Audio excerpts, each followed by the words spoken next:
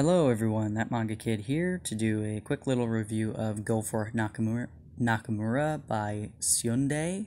I apologize if I've completely butchered that name. Um, this is a shonen ai, so boys love series. It's a comedy. Um, there isn't a lot of romance because it's literally about this guy Nakamura who has a crush on one of his classmates. Um, this adorable boy here uh, that you see around the edges um, and it's basically just him trying to muster up the courage to even have a conversation with this boy, um, let alone like actually confess or or try and go out with him. He just lo- wants to talk to him, um, and it, it's just he's a nervous wreck, as you can probably see by the cover here. Um, he is absolutely charming. The boy he likes is also very cute and adorable and charming.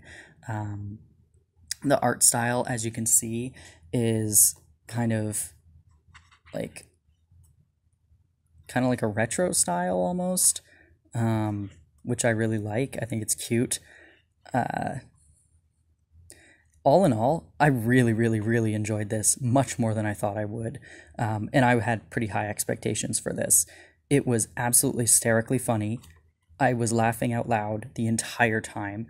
Um, it was so cute. It was innocent. It was fine, um, while still being realistic. Like I'm pretty sure there are parts where like he's starting to have dirty thoughts about this boy, and he's like, "Come on, pull it together." Like, you know, I've never even spoken to him.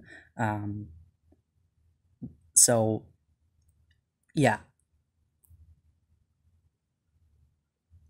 it was really, really, really enjoyable. I highly, highly recommend reading it if you like Boys Love series. Um, this is just a one shot, um, and it was super enjoyable. And I believe there is another series, another one shot, I think, by Syundei coming out in the new year.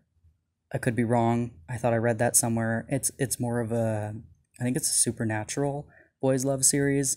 Um, but this is like a slice of life comedy, um, school shonen ai very sweet, very fun, uplifting, really easy to read through. Um, there's no drama, there's no heavy aspect to this. This is just sweet and cute and super relatable. Um, yeah, I, even if you don't like boys love stuff and you just like cute romances or like unrequited love kind of nervous kid looking at someone from afar um, yeah like you'll connect with this you'll relate to this and you'll have fun reading it. So i highly highly recommend it. If you've read this i'd love to hear your thoughts on it um, in the comments below. If you have any questions about it please please let me know.